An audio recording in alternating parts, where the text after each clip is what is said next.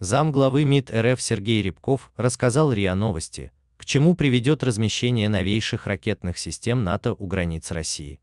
Рябков заявил, что планы НАТО по приближению к российским границам своей военной инфраструктуры и различных видов вооружений дестабилизируют обстановку во всей Евроатлантике. По его словам, чем ближе ракеты к границам России, тем выше риски дестабилизации, тем определеннее контуры нового кризиса, который действительно может быть по степени своей опасности сопоставим с Карибским кризисом. В те годы политики в Вашингтоне сделали надлежащие выводы, и ситуацию удалось стабилизировать, отвести от опасной черты. Что будет в следующий раз, если до этого дойдет, я не берусь предсказывать, заявил дипломат. Он подчеркнул, что Москва уже предлагала Западу альтернативу эскалации, не размещение новых ракет около границ России, отвод вооружения и войск, отказ от провокационных мероприятий и учений.